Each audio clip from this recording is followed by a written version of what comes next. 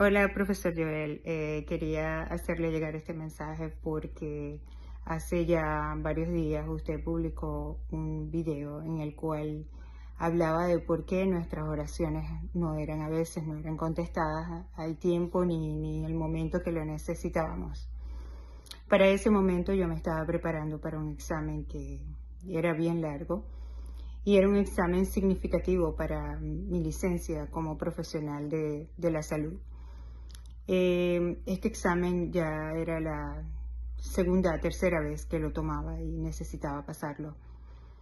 Y ese viernes, después de escuchar el, video que usted, donde usted explicaba todo, yo decidí con intención hacer una sedata para niños necesitados eh, para cierta organización.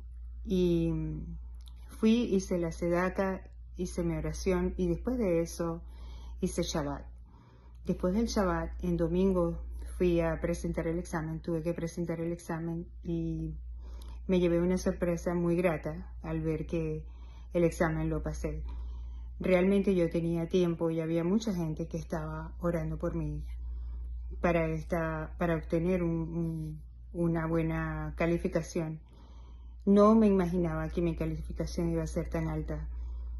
Eh, pero sí quiero decir que, quiero explicarle, quiero decirle que de verdad cuando hacemos una sedata con una intención para recibir un mérito, nuestras oraciones son eh, respondidas y yo le agradezco mucho por eso, ese video que usted hizo porque me hizo recordar, me hizo pensar y aprender un poco más. Así que muchas gracias. Shalom.